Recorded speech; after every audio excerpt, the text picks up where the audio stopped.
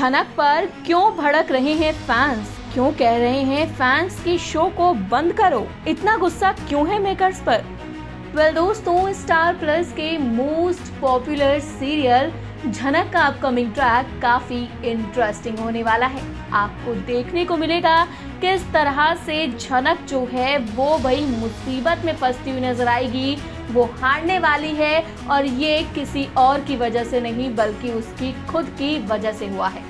अब इन्हीं सब के बाद झनक जो है, उसको फैंस बहुत ज़्यादा सुना रहे हैं। सोशल मीडिया पर उसको ट्रोल किया जा रहा है।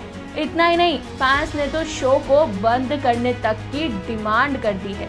दरअसल हर बार फैंस ने देखा है कि अर्शी जो है, वो जीत जाती है झनक से। लेकिन इस बार फैंस ये बर्दाश्त नहीं कर पाए और इसी के चलते फैंस ने झनक को भी ट्रोल किया और यहाँ पर मेकर्स को भी ट्रोल किया है। तो चलिए एक नज़र डालते हैं यूज़र्स के कमेंट्स पर। लक्ष्मी नाम की यूज़र लिखती हैं, झनक को नौकरानी ऑफ़ द ईयर बनना चाहिए मेकर्स और राइटर्स को। फैंस जो हैं वो कह रहे हैं, झनक जो है वो नौकरानी है तो उसे नौकरानी की तरह ही रखो, क्योंकि अब फैंस को ये चीज़ें बर्दाश्त नहीं हुई। आगे भी तमाम कमेंट्स आए। आप देख सकते हैं, आगे एक यूज़र ने कमेंट करते हुए लिखा है I hate you Jhanak. Makers हम पागल हैं जो इतने टाइम से देख रहे हैं। हम देख ही क्यों रहे हैं? सच में बहुत बुरा हुआ। वहीं पर आगे भी एक यूज़र ने लिखा, बकवास शो इतनी मेहनत के बाद हार गई। एक महीने से मेहनत करने में लगी हुई थी।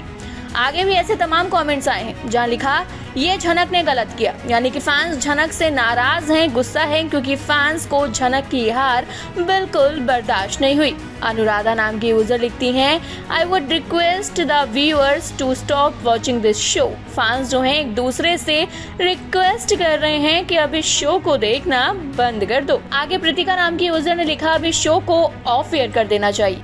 आगे की यूज़र ने लिखा, आदित्य कपूर अब नहीं देगा इसको मूवी ऑफ़र सही है, इसके लिए मेड का काम ही। फैंस जो हैं, झनक को बुरी तरह से ट्रोल कर रहे हैं। नेहा मिश्रा नाम की यूज़र लिखती हैं, इस झनक को कुछ ज़्यादा ही बेचारी और अच्छे बनने का रोल मिल गया है।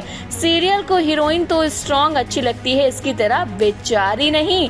तो आपका क्या कहना है झनक के इस फैसले को लेकर? क्योंकि झनक ने अर्शी को जिताने के लिए खुद को जानबूझकर हरवा दिया है। कमेंट करके दोस्तों अपनी राय बताइएगा। इसी तरह टीवी और बॉलीवुड से जुड़ी हुई ढेर सारी अपडेट्स आपको देते रहेंगे, लेकिन उसके लिए आपको हमारे चैनल को सब्सक्राइब करना होगा और हमारे फेसबुक के पेज को भी फॉलो करना होगा।